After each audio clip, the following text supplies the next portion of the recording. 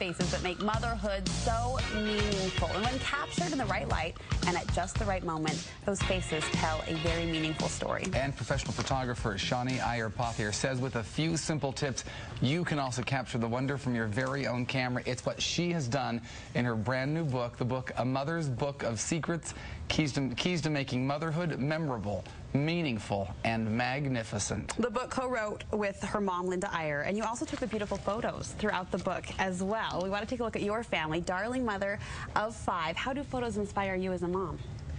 You know, I just feel like, first of all, I have a pretty bad memory, and so I like to take a lot of pictures so that I can make sure that I get everything captured. But I just love to cap capture the emotion of relationships and my kids and I just think it's great as a mom to be able to do that. And I've had so many moms who are interested and who have asked me so many questions about how to do that. So glad to be here today. To well, you got to tell us because I I love taking pictures. I love going back and say, oh, remember that those things exactly you said. You forget about them otherwise. Yeah. So you've got five tips so everybody can have these fantastic pictures like you have as well. You say your first step is to turn off the flash and find other ways of lighting it. Things yeah. right?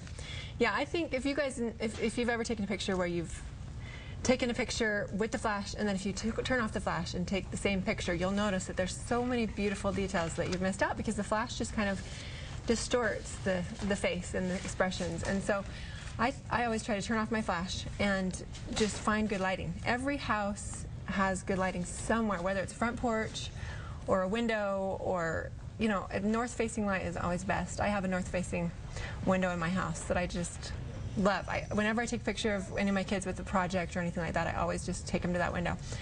And it just makes a big difference. It just kind of be able, it captures their expressions a lot better. So, and when I first started photography, I always did it in my garage. And a garage is a great place for good lighting because the sun reflects off the pavement. So do you open the garage door? I open the garage door.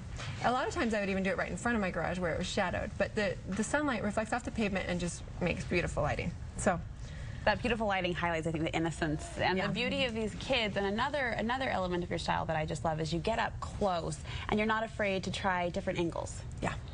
I think that is another huge deal because I think a lot of times you'll see pictures that are really, really far away. Everyone's seen them just kind of far away and you can't really see the actual expressions. But I love to get in really close and actually even just get one eye or one, you know, even just get little baby's toes and get I love to get down on the ground. I just lay on my stomach while I take pictures of my little girl crawling or little kids with different expressions and or their feet or you know it's just kind of neat to be able to get different angles the details too the details yeah. exactly and it's kind of fun to experiment with different angles too because one time one, one sometimes I'll get up like on a chair and look down on them and I think it's you know, just kind of changes the whole perspective just looking face on on people. Mm -hmm. It shows off the eyes so much better if you're up above the child. Or sometimes I'll lay on the ground and I'll look up at them, and I, it just kind of creates a different different look.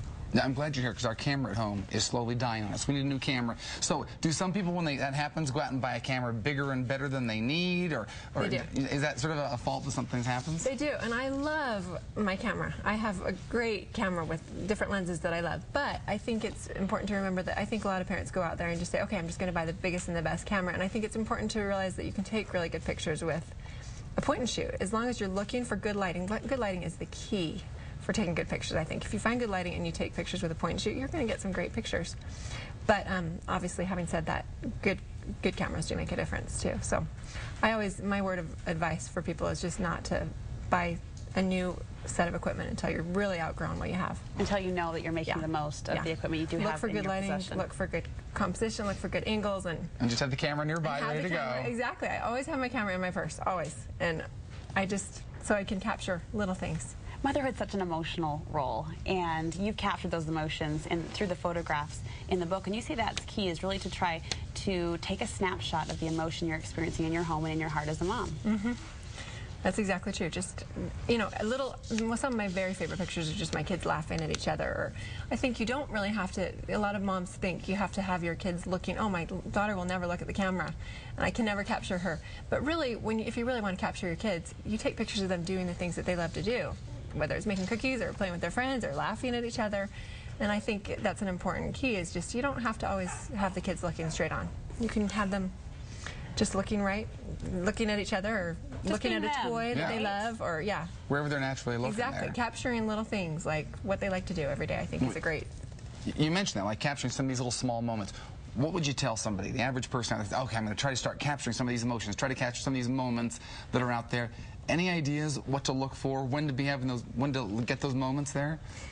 Um, I just think What kind of moments are we looking for? my poor kids just think I am, a camera is part of my arm. I just have it with me all An the time. extension of self. And I think it's like, I think that's kind of good to just get them used to that. Whether because sometimes kids will just put on their cheesy smile for you when you get your camera out. But uh, you know, I'll get my camera out when my daughter's playing with her favorite blocks and just get down there on the ground with her and remember that little, she's got these shoes. I've got one little girl who just is so addicted to her Crocs.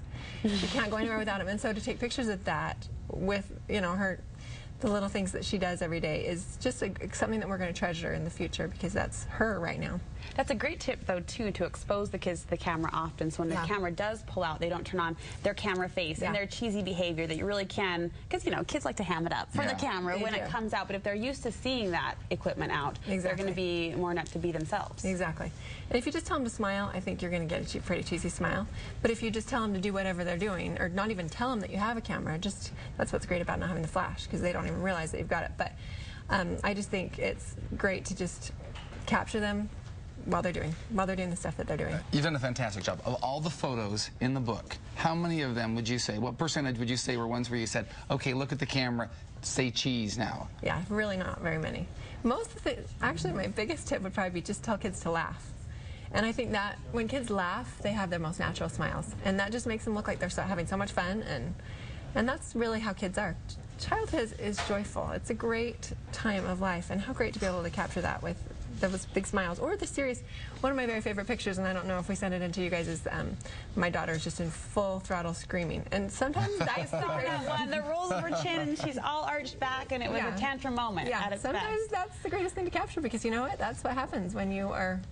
When you're a mom, you, you want to remember those things, even though in the moment you don't think you're going to, but you want to look back and say, hey, that was hard and I made it through it. That's real life, and that's real love. That's real life, exactly. Okay, well, thank you so much. You do it so well, capturing those moments. Again, the book is The Mother's Book of Secrets, co-written by Shawni and her mother, Linda Eyre. A fabulous book with beautiful insight, beautiful pictures, and it's a perfect Mother's Day gift. I was up last night, turning page by page, simple inspiration there in those small chapters. So we'll post the information for you on our website.